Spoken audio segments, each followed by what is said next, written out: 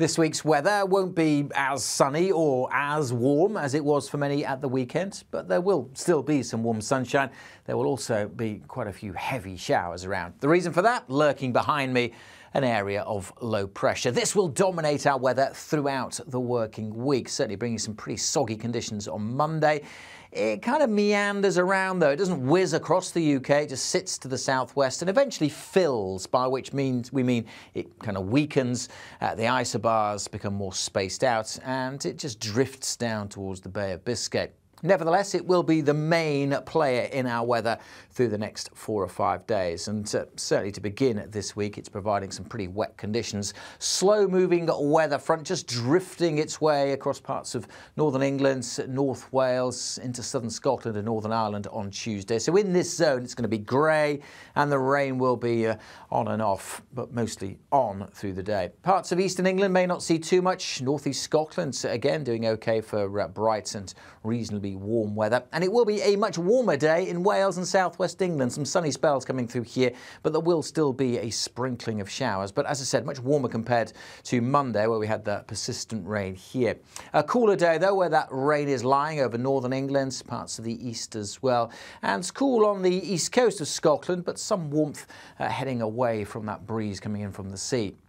The low pressure's definitely still with us through Tuesday night and into Wednesday. And this weather front is uh, still kind of around as well, just steadily fizzling out, but providing cloud and outbreaks of rain at times over still parts of eastern England. So quite a drab day on these eastern coasts. The haar may well be returning to the east coast of Scotland as well, again suppressing the temperatures here. But again, western Scotland may well do pretty, uh, pretty okay for sunshine during Wednesday. Some blue skies here, and that's where we'll likely see the top temperatures. Further south, a little warmer where it's a bit brighter, but the cloud and rain never too far away from the East Midlands, East Anglia, and the extreme southeast.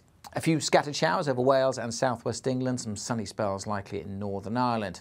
By the time we get to Wednesday night and Thursday, the low is starting to trickle away, just drifting, meandering down towards the Bay of Biscay.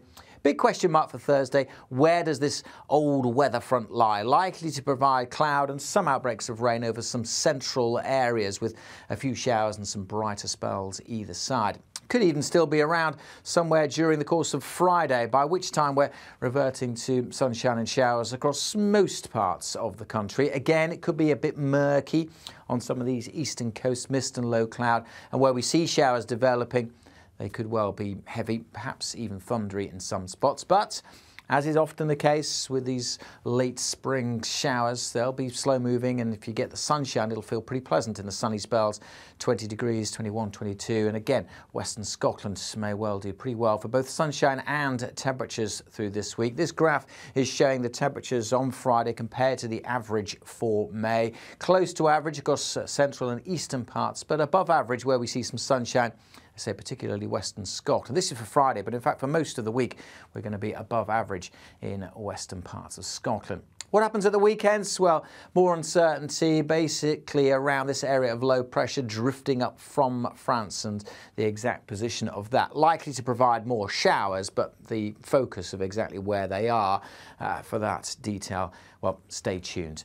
Come back and join us later this week. We'll have more details about the weekend. But that's your forecast throughout this week. For those updates over the next few days, if you're watching on YouTube, make sure you hit subscribe.